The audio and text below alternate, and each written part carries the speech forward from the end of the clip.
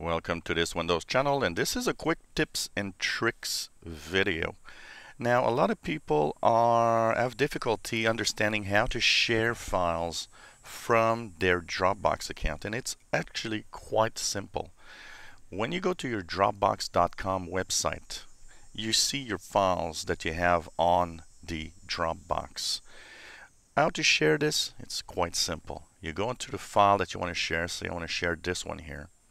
Look at the right side of your screen. There's a share button. You click there and it's going to give you two possibilities. To mail it to somebody so you can actually enter a email or a name if you have that information in here. Or if you don't want to share it like this, you can actually click create a link.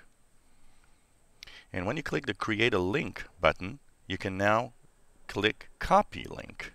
And here it is. And of course you right click, you copy and you can share it through email by pasting it in your email or if it's sending it through uh, Facebook Messenger or maybe even you, you want to post this link on Twitter to share something with people uh, whatever you want to do all you have to do is paste it. So um, open whatever uh, service that you want including for example Facebook. And of course from there you'll paste this link. Everybody can see what you share with this link. They only see what you share, nothing else, so they don't see the rest of what you have in your account. And they don't need a Dropbox account to have it. So that's also the good thing because people think, oh, well, I need Dropbox then. You don't. It doesn't require Dropbox for you to share something.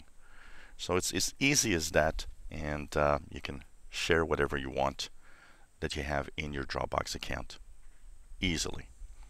If you enjoy my videos, please subscribe to my channel. You'll be informed when new videos are online. Give us thumbs up, and thank you so much for following us.